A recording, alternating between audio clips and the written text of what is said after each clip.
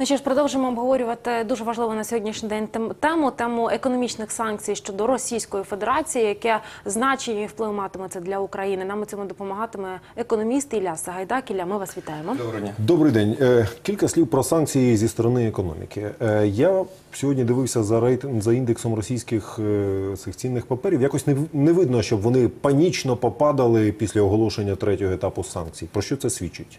Не бояться?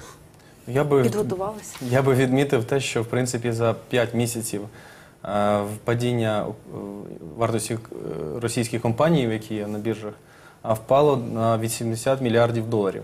І за останні два місяці на, е, на 15 мільярдів доларів. Е, Відповідно, ефект вже існує, і не можна сказати, що е, це є щось е, неочікуване. Ми бачимо, що відреагував ринок, але дійсно не так суттєво. Але це тому, що процес вже був запущений раніше. Тобто, всі, хто може зараз, намагаються потрошку виводити капітал.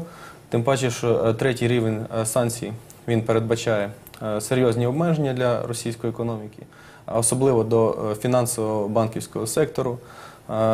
Особливо, якщо частка капіталу більше 50% контрольного пакету складає, це є державний, також будь-яких фінансових і інших інституцій, агентств, які е, також е, належать більше 50% е, відповідно державі. Е, Також е, санкції стосуються е, будь-якого високотехнологічного обладнання, навіть глибоководного буріння. Е, Неможливо буде його постачати в Росію. Відповідно, ці санкції е, відобразяться і на нафті, на видобутки нафти.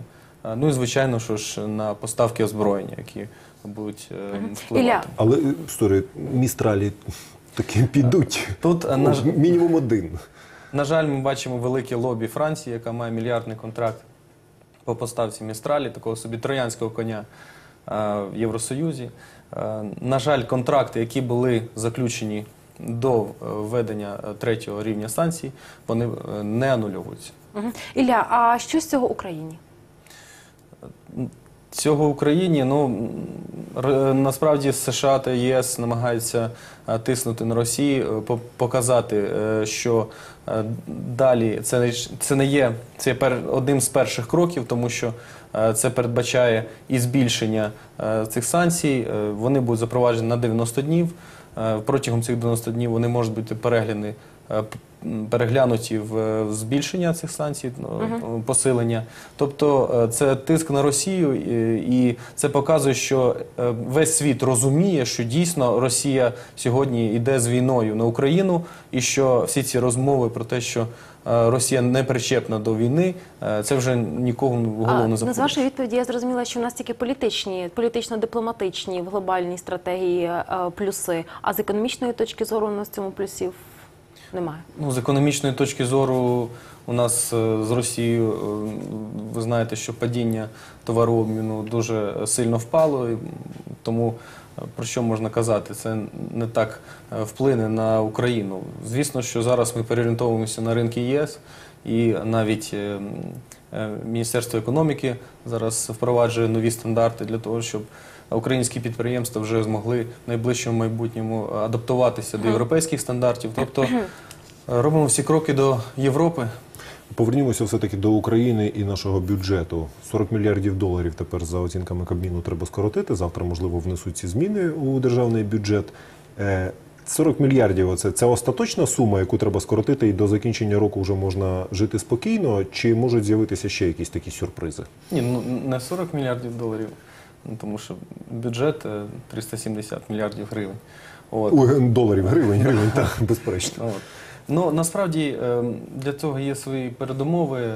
Ми бачимо, що е, індекс інфляції прогноз МВФ дав на 19%, е, падіння ВВП 6,5% замість трьох з гаком. Тобто, про що це свідчить? Звісно, що через державний бюджет розподіляється, перерозподіляється ВВП.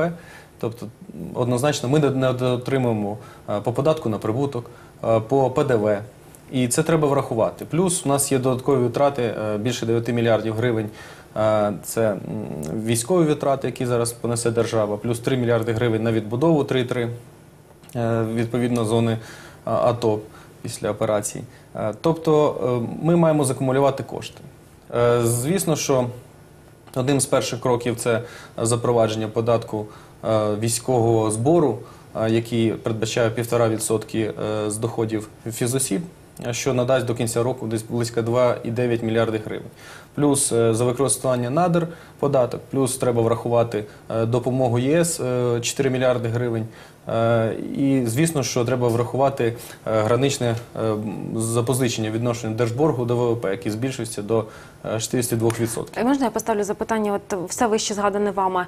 Це е, обґрунтовані зміни до державного бюджету? Ви як економіст, як вважаєте? Ну, однозначно вони обґрунтовані. Ми бачимо, що е, ми відхиляємось від практики, коли наші прогнозні показники е, відрізняються від міжнародних. Тобто ми орієнтуємося на міжнародні показники. Ми їх, е, в принципі, у нас воно корелюється поняття. І очевидно є те, що курс ну ні для кого не секрет. Ми бачимо, що Україна знаходиться в е, важкому стані, економічна ситуація ускладнюється. Плюс ми бачимо проблеми е, в газовій сфері. Україна готується до найважчої зими в своїй історії. Об'єктивно треба е, розуміти, що це додаткова коштів на модернізацію газотранспортної системи, це е, очікування реверсу, який в нас так і дуже мляво йде. Е, також це передбачено, ви знаєте, що передача в управлінні газотранспортної системи е, США і європейським компаніям, що дозволить модернізувати якраз без державного бюджету, тому що це півтора мільярди доларів, яких в Україні е, фізично немає. Ілля, якщо взяти до уваги от наше з Вадимом вчорашнє е, спілкування з експертами на політичну тематику, е, практи- здається, мені жоден експерт, який був у нашій студії, не спрогнозував, що будуть ухвалені Е, Зміни до відповідні бюджету, зміни до до бюджету. податкового кодексу. Ну і до щодо газотран... оренди газотранспортної Так. системи. А, таким чином виходить, якщо ми беремо найгірший прогноз, що Верховна Рада збереться, але не розгляне відповідні законопроекти і не ухвалить їх, чого чекати? Я би не був таким песимістичним, тому що Ви оптимі... О, то нас сьогодні оптимістичний день. Я- Це економіст. Завтра ми побачимо, але е, немає сьогодні для держави іншого шляху, ніж ухвалювати ці зміни. Тому що об'єктивно зараз е, недофінансувати армію це е, для себе накинути мотузку там на шию. Е, також е, не врахувати економічні е, м, прогнози, це також буде нелогічно, і ми просто е, підемо з неправильними показниками. Ми бачимо, що є е, скорочення е, витрат. І секвестр він обов'язковий.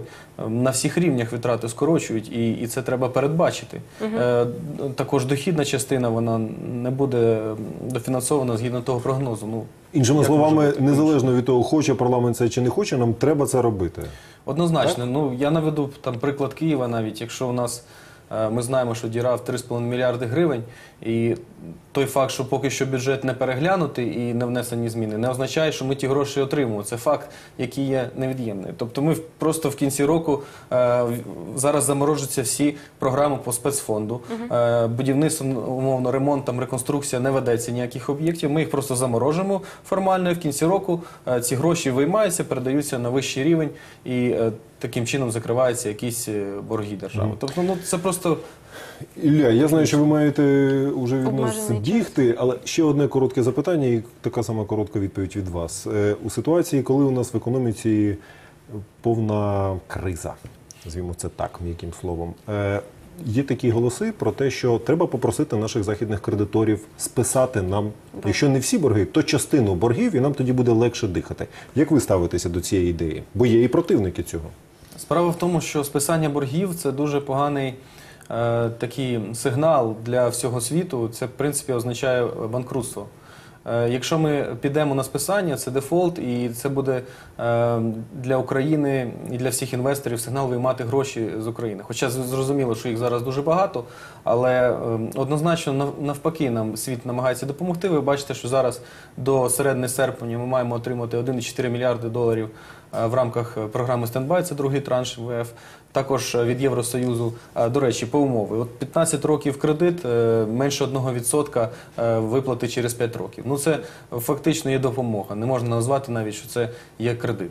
Е, 300 мільйонів доларів ЄС має виділити на допомогу нужденним. Це е, більше півмільйона людей, які сьогодні знаходяться за межою бідності, які не мають е, коштів на е, мінімальне задоволення базових потреб. Тобто нам ЄС допомагає. Зрозуміло, що не в тих темпах і світ яких ми би хотіли, яких це має відбуватися. Але, на жаль, е, сьогоднішні політичні е, умови кризові диктують такі, е, таку ситуацію. Ілля, ми маємо вам е, дякувати. Ілля Сагайдак, економіст, був гостем студії каналу 112 України. Чекаємо вас гості ще неодноразово. Ну і ми обговорювали економічну ситуацію, зокрема і економічні санкції Європейського союзу щодо Росії, і загалом економічну ситуацію в нашій державі. Йдемо далі.